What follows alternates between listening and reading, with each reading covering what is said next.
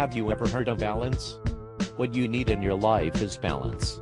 Think of balance as when everything is equal, nothing is dragging you down. Why oh you mean I don't have to keep falling over? Of course not. You can even learn to walk across the balance beam and not fall off. We just need to work on your balance.